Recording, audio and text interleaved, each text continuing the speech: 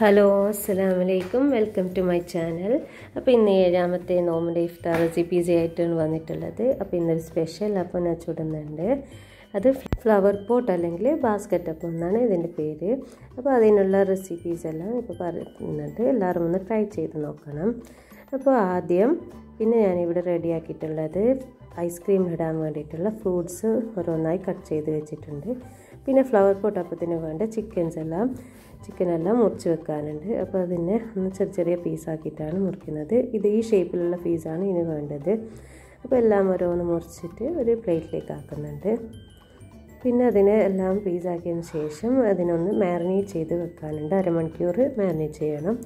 അപ്പോൾ അതിന് വേണ്ടത് മുളക് പൊടി മഞ്ഞൾപ്പൊടി പിന്നെ കുറച്ച് ഉപ്പ് കുരുമുളക് പൊടി വേണമെങ്കിൽ അതും ഇടാം.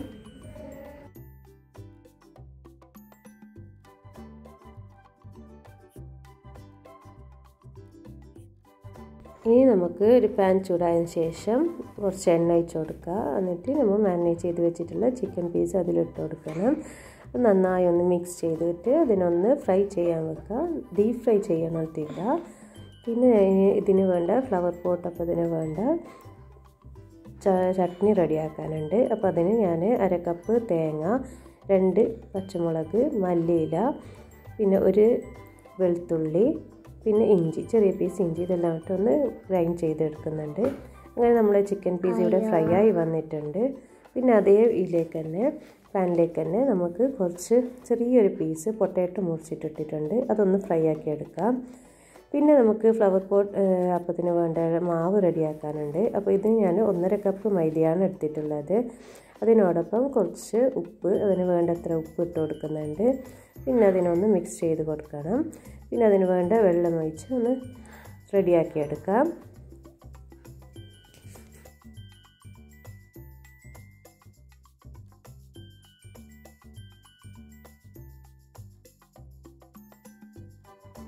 അങ്ങനെ നമ്മളെ മാവ് അപ്പത്തിനുള്ള മാവ് ഇവിടെ റെഡി ആയിട്ടുണ്ട്. അപ്പോൾ അതിനെ ഓരോ ചെറിയ ചെറിയ ബോൾസ് ആക്കി വെക്കാം.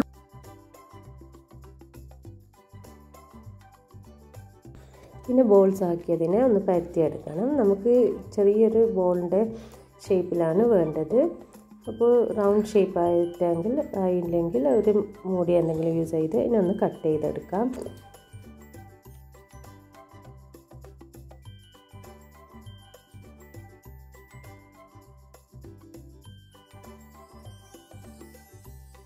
അങ്ങനെ നമ്മൾ ഫ്ലവർ പോട്ടിനുള്ള ഷേപ്പ് എല്ലാം റെഡി ആയിട്ടുണ്ട്. അതൊന്ന് റെഡിയാക്കി വെക്കണം. പിന്നെ ഇതിന് വേണ്ട ഒരു സ്റ്റീലിന്റെ ഗ്ലാസ് വേണം. അപ്പോൾ അതെടുത്തൊന്ന് തയ്യാറാക്കി വെക്കാം.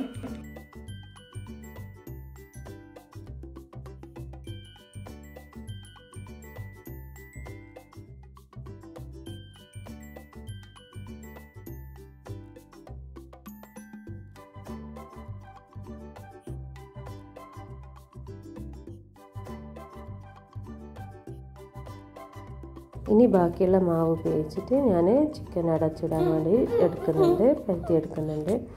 അപ്പോൾ അതൊന്ന് അവിടെ റെഡി ആയിട്ടുണ്ട്. പിന്നെ നമ്മൾ എണ്ണ ചൂടായതിനു ശേഷം അതിലേക്ക് ഗ്ലാസ്സിലേക്ക് അത് എൻഡിൽ ഇതേ ഷേപ്പാക്കി അതിനൊന്ന് പറ്റിച്ച് കൊടുത്തിട്ട് എണ്ണയിലേക്ക് ഇട്ട് കൊടുക്കുക. ആദ്യം കുറച്ച് ഡിഫിക്കൽട്ടായിരിക്കും വെളി വരാൻ വെളിയിട്ട് വരാൻ പിന്നെ രണ്ടോട്ട് ചെയ്യുമ്പോൾ അത് ഈസി ആയിട്ട് വരും. അങ്ങനെ ഇത് ബാക്കിയുള്ളതെല്ലാം ഇതേ ഷേപ്പിലോട്ട് ഇതാക്കി എടുക്കണം. അങ്ങനെ നമ്മൾ ഫ്ലവർ പോട്ടിനുള്ള പോട്ട് റെഡി ആയിട്ടുണ്ട്. അപ്പോൾ എല്ലാം ഓരോന്ന് ചെയ്തതിന് ശേഷം നമുക്ക് അതിലേക്കുള്ള ഇൻഗ്രീഡിയൻസ് എല്ലാം ഇട്ട് കൊടുക്കാം.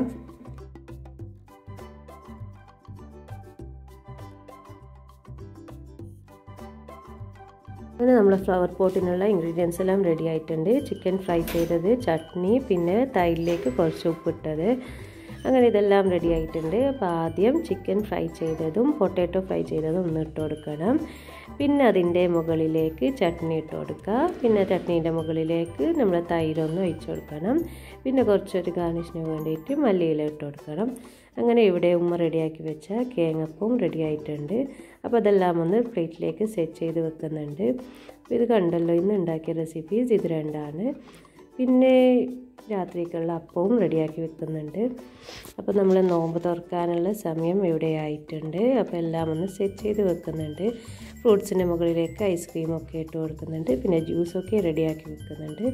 അപ്പോൾ എല്ലാവർക്കും താങ്ക്